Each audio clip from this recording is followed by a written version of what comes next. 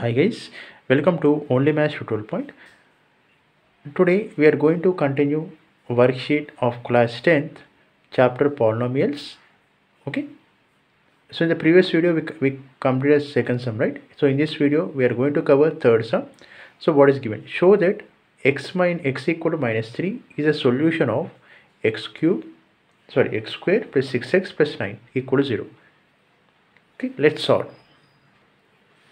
okay. Show that x equal to minus 3 is a solution of the given polynomial.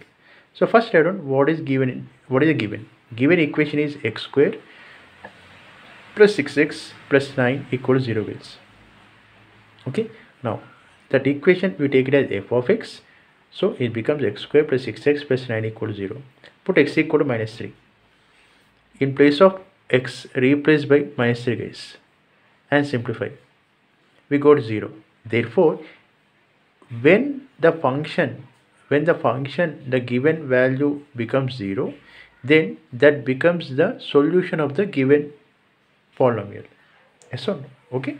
Now we got x equal to when you substitute x equal to minus 3 in the given polynomial then we got we got result 0 right? Therefore that value x equal to minus 3 is a solution of the given polynomial.